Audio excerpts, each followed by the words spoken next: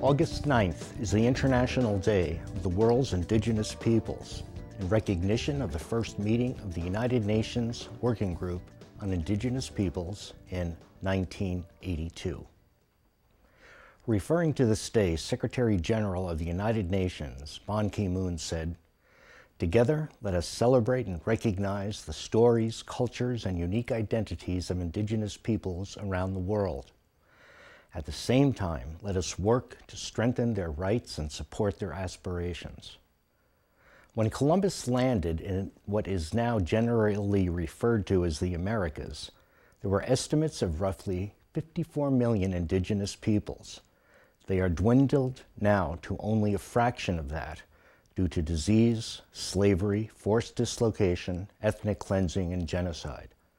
On December 31, 2009, President Obama signed the Native American Apology Resolution to apologize for all the tragic things done to the indigenous peoples of the United States of America.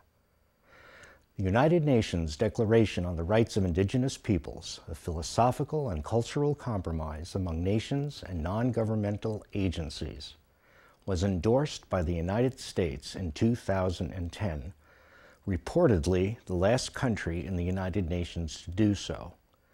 A good but not perfect document, it speaks, among other things, of full guarantees against genocide, redress for deprivation of cultural values and ethnic identities, and the right to maintain and strengthen spiritual relationships with the land, water, seas, including sea ice, flora, and fauna.